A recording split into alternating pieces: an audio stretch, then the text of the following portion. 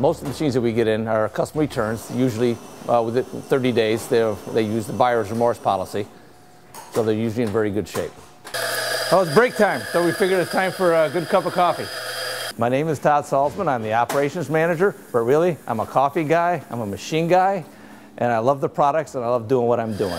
We like good coffee and we like practicing latte art while we're making our coffee. Milk's a little thick on this one, too bad. I lost focus at the last second, unfortunately, but whatever. When it comes in, we take it out of the box. Uh, we inspect it for damage. Uh, if everything looks good, we send it over to the refurb line and we test it and descale it if it needs it. All the accessories, they get separated out, brought over to the cleaning stations where we clean each one of those individually. So this is not an open box special. We get the machine, we go through it thoroughly, we make sure it's in like new shape, it, it's working perfectly. It's not something where they just threw in a box, we get it, and they go, okay, good, we can resell it.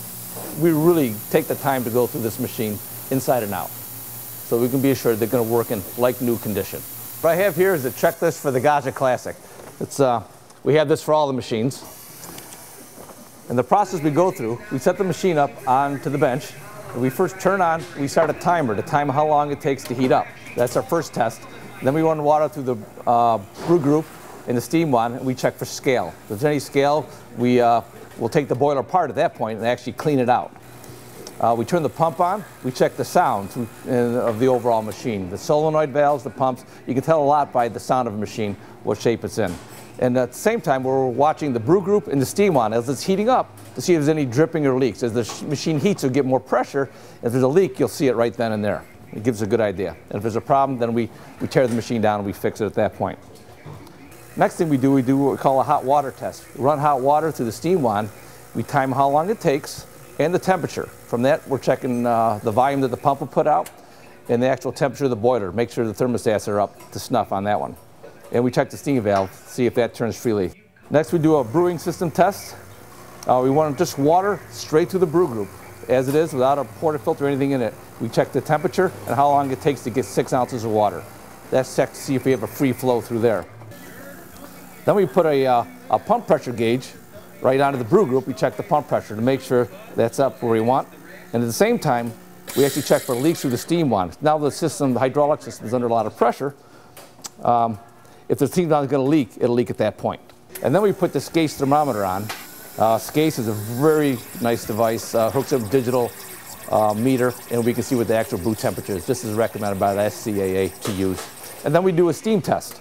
Well, here we hit the steam button. We time how long it takes for the machine to get up to steam temperature based on the temperature indicator lights. And if, it's, if the timing isn't right, we know there's something wrong with the thermostat. At the same time, we're checking for leaks to the brew group because now the hydraulic system is under extreme pressure. Um, and then we check our steam pressure. We open the steam knob and we check to make sure we got a really good pressure coming out of it. And then we'll know the steam pressure is fine. After that, when we're all done, we drain the boilers out and then we, our tech signs off on it and we we know we have a great machine. For the super automatics, it's a very similar process. But in that case, when we, instead of just listening for the sound of the pump and a solenoid valve, like with the Classic, we'll be listening for the motors that turns the gears, the gears, the brew group, and along with the grinder. And then we also, but then we check the steam pressures and the brew temperatures in a different way, but still, it's a very accurate way we do it. So we go beyond all the technical tests. We do real world tests. The Super Automatics, we make the espresso, we make sure that it's working perfectly. The grinders are calibrated, and the flow is correct. After you've gone through the checklist, uh, the machine gets sent over to the cleaning station. At that point, the machine is wiped down thoroughly and given another inspection uh, for the housing or anything that doesn't look quite right. Those guys are trained to do that. So after the machines are cleaned, they're brought out to our packaging station where they're fitted with some custom packaging and custom boxes to make sure they arrive in great shape. Well, the bottom line is when the machine is tested, it's going to work in like new condition. Customer may want to buy one of the, these machines because it'll save them some money. They may be able to upgrade to a higher machine without spending the money for the brand new machine. They, we've tested them all. They've all come through in great shape. They work perfectly. So it's a great way to get a good machine. And there's no risk because you'll be able to return it within 30 days if for some reason you don't like it. And it's got a six month warranty. So coffee is all we do. Specialty coffee. We focus on the espresso cappuccino market, the home user. And so we can help you out with any problem that you have with them. We are one of the most experienced companies doing this. We focus on espresso machines. We're not doing appliances. this is what we do. You can't call a lot of places and get really good answers. You know, if you have a problem with anything, you can call us and we can walk you through it. We make sure that every machine works like a brand new machine. If it's not at the factory specs, we won't sell it. We have a wide variety of machines available. We have literally hundreds and hundreds of machines completed, ready to go. We'll have all kinds of super automatics and semi-automatics. If you're looking for it, most likely we'll have it. We're very passionate about what we do. Our customers are passionate about their coffee, and so are we. We're just getting our pitchers ready. We're just, uh, Johnny's gonna brew the shots. He's, uh, he's our best barista, so we'll let Johnny step up to the plate. And I come in and I, I try to pour some latte art as best I can.